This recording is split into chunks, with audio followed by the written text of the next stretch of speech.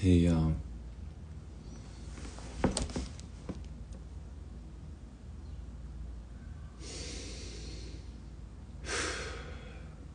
Y'all, I just read this story. Man. I haven't read a story like that in a long time, you know? I got actually, I, I got pretty emotional reading this. And it was to the point that I almost couldn't finish the last two pages. But it's a short story. And after I got done reading this story, immediately I said, nah, somebody needs to hear this. Somebody needs to hear this. Because we just don't realize how our actions, the things that we do, how they influence and they impact other people. We just don't know, you know? And I'm gonna, uh, I'm gonna challenge myself not to get emotional again while I read this. But feel free to listen along as I read this short story. It's on a lady named Mrs. Lynn. Shout out to Miss Lynn. So, first, it prefaces talking about this lady. It says, Have you ever heard an unforgettable story? One that you can't stop thinking about for days, months, or even years. These kinds of stories aren't just heartwarming, they make us fundamentally rethink our assumptions. They change the way we see and treat other people. They change the way we live and lead. I'm about to tell you one of those stories. When I heard it for the first time, everything seemed to go still, as if time itself had slowed its relentless march just to ensure I heard about a junior high school teacher named Miss Lynn. With one simple class exercise on a bright spring day, she taught a roomful of eighth graders that no matter how alone they might feel, however dark and cold life may get, they are loved. There isn't a Hollywood movie about Miss Lynn. I guarantee you've never heard of her.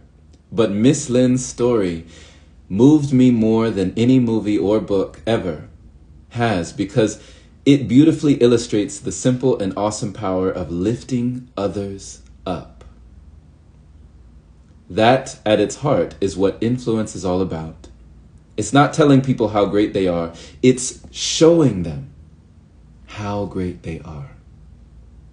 Lifting others up means identifying moments, regardless of how insignificant they may seem, to show that they matter. After you read this about Miss Lynn, I challenge you to slow down. Slow down as you live your day to day life. Slow down as you interact with your coworkers. Slow down when you have dinner with your family. Slow down when you're ordering food at a restaurant. Slow down and be aware of the people around you and ask yourself, how can I lift them up? Even just a little bit. So here's the short story on Miss Lynn, and the story is called 36 Pieces of Paper. On a warm and sunny Friday in March 1962, a 30 year old teacher named Miss Lin walked into her eighth grade math class. It was the last period of the day before spring break officially began. And Miss Lin took a moment to read the energy of the room. Now imagine you're back in eighth grade. Your mind isn't too focused on geometry to begin with. But at three o'clock, on the first beautiful afternoon after a long cold winter, only 50 minutes before the beginning of a week long vacation, forget it. Miss Lin watched two boys having a wrestling match and three girls passing notes in the third row. In the corner was a girl rubbing her puffy red eyes. Her name was Betty, and Miss Lin knew her parents were in the middle of a divorce. The rest of the class gazed anxiously out the window, hoping to enjoy a brief glimpse of spring. She looked down at her lesson plan, the Pythagorean theorem. there was no way the class would be absorbing a squared plus b squared equals c squared, and why it was important to calculate the hypotenuse of a right angle, right triangle. Most teachers would plow ahead with the lesson anyway. But Miss Lynn wasn't like most teachers. After settling down the wrestlers and telling the girls to put their notes away, she removed a page from a three ring binder and held it up to the class. See this piece of paper? said Miss Lin. This is my lesson plan for today. 36 pairs of eyes stared at it blankly and then back out the window. With a slight smile, Miss Lin tore it up and tossed the fragments into the trash. The class erupted into applause. Even Betty, still fighting back tears, had a little smile on her face. Here's what we're going to do today, said Miss Lin. Everyone take out a piece of paper and a pencil. She had their attention now. The wrestlers, the note passers, Betty, everyone rummaged around in their desks. In the meantime, Miss Lin wrote the first name of each student on the blackboard. On the left side of your paper, I want you to do what I'm doing. List the first name of everyone in class. There was a flurry of scribbling a buzz of excited energy. Something was very different about this lesson. Okay, Miss Lin said, when the pencils were silent. Now, next to each name, I want you to write one word or phrase that sums up what you love or like or admire or respect or appreciate about that person. Something positive that you've noticed about them. Got it? Thirty six heads nodded vigorously, and once more there was a flurry of pencils. The wrestlers stared at the page, occasionally popping their heads up to scrutinize the next person on the list. The note passers scribbled faster than their brains could think, pausing frequently to swipe eraser dust from the paper. Even Betty's eyes seemed less red as she considered each of the names and wrote what she admired about them with her looping penmanship. For the first time in the history of Mrs. Lin's period five math class, there wasn't a single peep for 50 minutes. When the bell rang, the students raced to finish their list, and Miss Lin sent them on their way, free at last to enjoy spring break. During her vacation, this is what Miss Lin did at home. She took out 36 pieces of blank paper and at the top of each one, she wrote the name of one eighth grader from her class. Then she inserted the praise that had been written about them. That's 1,260 separate messages to organize and record. It took her all week. On the Monday after spring break, Miss Lynn's students returned, tanned with fresh scrapes and bruises from a week of adventures. When class started, she handed each student their list. She watched their faces as they read what their peers had written. Some giggled, some blushed. There were a few tears, even among the boys. But all were beaming. And then the exercise was over. Miss Lin returned to her lesson plan on calculating the hypotenuse of a right triangle the students stuffed their book bags in the pieces of paper that the math teacher had so carefully prepared. Their eyes wandered back to the window, and they thought about crushes, friends, sports, summer vacation, and everything else on their mind of a typical eighth grader. Before long, it was the end of the school year, and Miss Lynn's students had moved on to high school. Some years passed. This was now the late 1960s in America, with the Vietnam War in full swing. By 1968, more than half a million Americans were fighting in the jungles against a new kind of enemy that used guerrilla tactics and booby traps. Soldiers trudged through rivers and swamps and all sorts of hell, not knowing when the next attack would come. Who would be next to be picked off by a sniper? Who would be next to trip a landmine? Miss Lynn was grading papers on her couch one day when the phone rang. A woman on the other end was barely keeping it together. She explained that her son Mark had been killed during the Battle of Khe Sanh while defending a military base from the North Vietnamese army. They would be honored if she would join them at the funeral. Miss Lin searched her memory and finally remembered Mark. He was one of the wrestlers from her old fifth period math class. She sat on her couch, stunned. It seemed like just yesterday that Mark was goofing off at his desk, a twinkle in his eye, the faintest whisper of a mustache above his lip, the rest of his life in front of him, and now he was gone.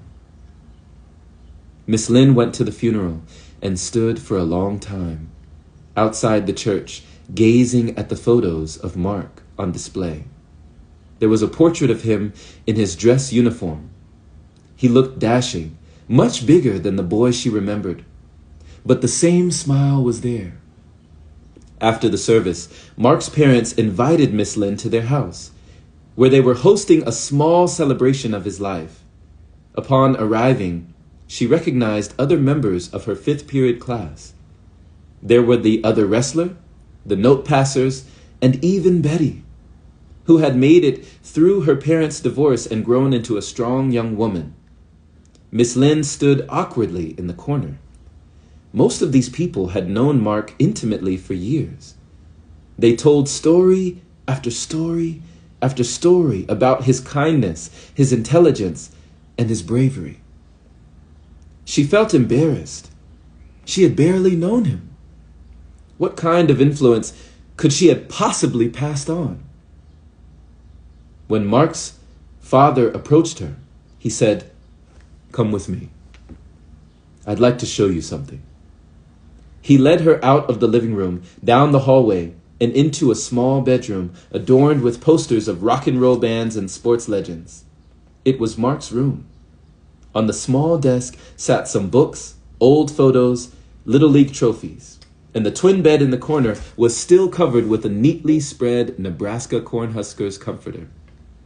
But there was one item sitting in the middle of the bed that did not belong to a child an infantryman's green camouflage helmet, a cold instrument of war surrounded by the fading memories of childhood innocence. Mark's dad picked up the helmet and turned it over. From behind one of the straps, he extracted a yellowed, sweat stained, scotch taped piece of paper that must have been folded and refolded thousands of times. Here, he said, handing her the piece of paper. We found this inside his helmet. It was with him when he was killed. Open it. Hands trembling she carefully unfolded the fragile page. Even though years had passed, she knew instantly what it was. At the top of the page, she recognized a name written in her own script Mark. Below the name was a list of 35 words and phrases. Funny, kind eyes, always says hi to me, good guy, best quarterback, on and on and on. Miss Lynn read them once, twice, three times. Finally, she looked up, eyes welling. A tall, strapping young man stepped into the room. It was Mark's best friend, the other wrestler. I still have my list too, he said. It's in the top drawer of my desk at home. A young woman stepped into the room. One of the note passers. Mine's in my wedding album now, she sobbed. Then Betty came forward, reached into her purse, and pulled out a tattered piece of paper. Miss Lynn, there were times that year when I read this piece of paper every night before I went to bed. Thank you. Miss Lynn stood next to Mark's bed and looked at the faces of the people crowded around her. Mark's mother and father, Betty, and the other students from her eighth grade math class. With one thoughtful gesture, on a lazy Friday before spring break, she had fundamentally changed 36 lives. Miss Lynn sat on the bed and suddenly realized she was more than just an eighth grade math teacher. For the first time since she'd gotten that terrible phone call from Mark's mother, she put her head in her hands and wept.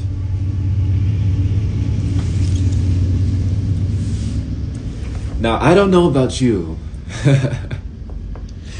but that wasn't easy for me to read. You know, just thinking back on all the times when someone might have impacted your life, or you might have done the same.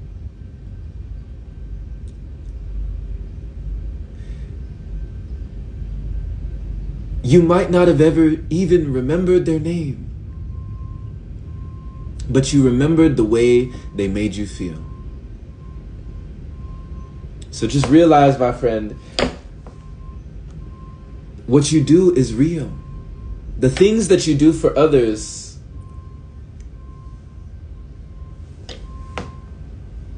they bring about so much change. And when people do things for us, we might never be the same. So much love, my friend. I just wanted to let you know that you matter. The things you do matter. The words you speak matter. The actions you take. It all matters. Even the things that you think are insignificant, even the things that you think are so small, the small affects the all. So never underestimate the power of just just one small action. Thanks for listening. And I trust that this message follows you wherever you go. And just like Miss Lynn, you may never know